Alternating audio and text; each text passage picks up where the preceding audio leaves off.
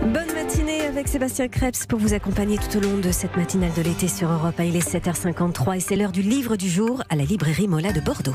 Avec Stéphane Place comme chaque matin. Bonjour Stéphane. Bonjour Sébastien, bonjour à tous. Alors aujourd'hui, une succession d'histoires, des histoires d'escroquerie. Les plus belles, hein, c'est ce que promet euh, l'auteur, en tout cas celles qui ont marqué les mémoires. À la lecture de cet ouvrage, on constate qu'abuser de la confiance de ses contemporains n'est pas un phénomène nouveau, loin de là. Jeanne Delamotte qui dupe le cardinal de Rohan et lui extorque une somme astronomique, c'est l'affaire du collier de la reine, le diamant de synthèse qu'invente Henri Lemoine, Charles Ponzi qui donne son nom à cette célèbre pyramide, montage financier frauduleux ayant fait euh, tant d'émules parmi lesquels Bernard Madoff, et bien d'autres arnaques encore dans ce livre qui recense les plus belles histoires de l'escroquerie. Un ouvrage qui nous raconte le détail des mécanismes employés, des ruses utilisées. Christian Chavagneux retrace, et il le fait formidablement bien, ces affaires retentissantes au fil des siècles.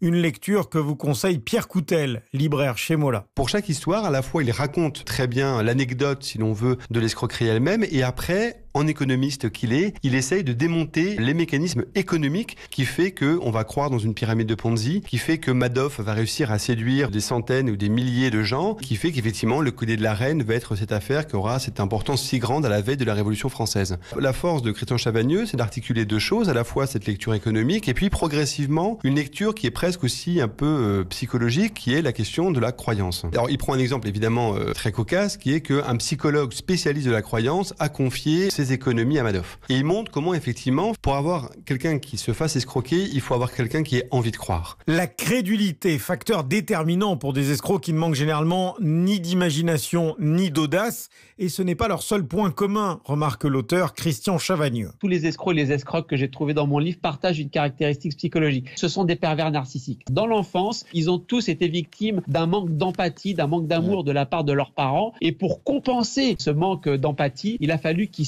surjouent le fait que ce sont des gens euh, importants, donc ils vont euh, à chaque fois développer un instinct de prédation, c'est-à-dire ce qu'on leur a pas donné quand ils étaient enfants, ils vont le prendre eux-mêmes. Ce sont des gens absolument sans aucun sentiment. Madoff, un de ses fils se pend. Il y a un professeur d'université qui est en train d'enquêter sur lui, qui l'a au téléphone le lendemain. Il lui dit de toute façon, il a jamais été capable de soutenir l'attention. Son autre fils qui avait déjà échappé à un cancer, le cancer revient à cause de l'affaire de son père. Il dit à ce même professeur d'université, vous pouvez me lire la nécro? Ah d'accord, merci. Je peux vous poser une question Au fait, euh, les choses sur les taux d'intérêt que vous avez demandé hier, vous avez trouvé la solution? Enfin, On a vraiment l'impression que c'est quelqu'un qui n'a absolument aucune empathie. Ils partagent tous cette même caractéristique d'être euh, des pervers narcissiques avec un instinct de prédation extrêmement fort. Plus dur sera la chute pour des escrocs qui ne sont pas des Robins des Bois, comme le montre cet essai, bien écrit et très agréable à lire. Les plus belles histoires de l'escroquerie de Christian Chavagneux, c'est au seuil. Merci euh, Stéphane Place. Nouvelle lecture, bien sûr, euh, demain, demain matin, juste avant 8 h